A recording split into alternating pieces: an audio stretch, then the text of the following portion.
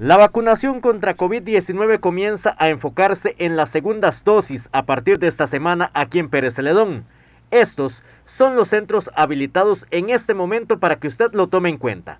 Desde el lunes 23 al 27 de agosto, el EVAIS de Rivas, EVAIS de Pavones, EVAIS de La Palma, el EVAIS de Río Nuevo y el Polideportivo de 9 de la mañana a 2 de la tarde y el próximo viernes en todos estos lugares de 9 de la mañana y hasta la 1 de la tarde. Este miércoles 25 de agosto, la casa de visita de Guagaral será centro de vacunación de 9 de la mañana a 2 de la tarde. Para el jueves 26 y viernes 27 de agosto, el Salón Comunal de Palmares estará vacunando de 9 de la mañana a 2 de la tarde. En el Evais de Páramo, jueves 26 y viernes 27 de agosto, estarán vacunando de 9 de la mañana a 2 de la tarde.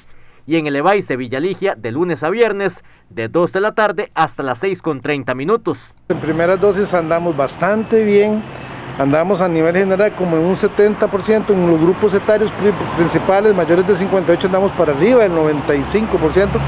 En segundas dosis estamos alcanzando alrededor de un 60, 60 y algo, pero es normal porque estamos en ese proceso de aplicación de segunda dosis. Da más que, digamos, a menores de 58 años, la segunda dosis se, se, aplica a las 12 semanas, ¿verdad? En los mayores de 58, que era de 21 días, andamos ya por una cobertura de más del 95%.